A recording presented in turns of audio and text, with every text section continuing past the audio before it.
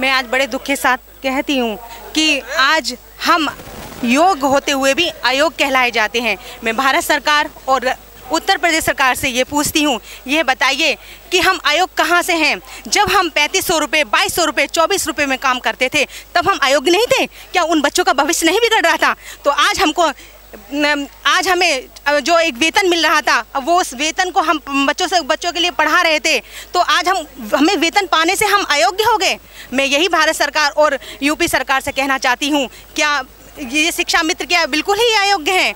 आज उनकी रोजी रोटी छीन कर उनका मान और सम्मान छीन कर आज वो बहुत बड़े नेता कहला रहे हैं अपने आप को। ये बताइए, जब बनारस में कहा था कि शिक्षा मित्र हमारी ज़िम्मेदारी है और माननीय मुख्यमंत्री जी ने भी कहा कहा था जब वो स, जब गोरखपुर नहीं नहीं वो जब वो एक सांसद थे जब जब वो एक सांसद थे उन्होंने ये कहा था कि शिक्षा मित्रों की वजह से ही आज बेसिक शिक्षा मित्र बेसिक शिक्षा विद्यालय खुल रहे हैं। क्या आज वो मुख्यमंत्री बनने से क्या वो अपने सारे भूल गए? सब शिक्षा मित्रों की यादें सब भूल गए? ये बताइए कि उन्हें अपने पद का इतना बड़ा अभिमान हो गया है ये आज हम बहुत दुखी हैं। आज हम इस जंतर मंतर पर यही इस कहना चाह रहे हैं कि योगी जी और मोदी जी आज हमारा मान और सम्मान वापस दिलाइए और हमें अध्यादेश दी गई है और हमें वापस ही अपने सहायक अध्यापक पद पर वापस कीजिए।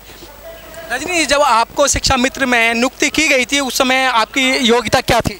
मेरी योग्य मैं शिक्षा मित्र में योग मतलब आपकी योग्यता नहीं जब शिक्षा मित्र के अंदर आप लोगों की भर्ती की गई थी उन्होंने क्या मापदंड मापदंड रखा गया था? इंटर इंटर इंटरमीडिएट रखा गया था।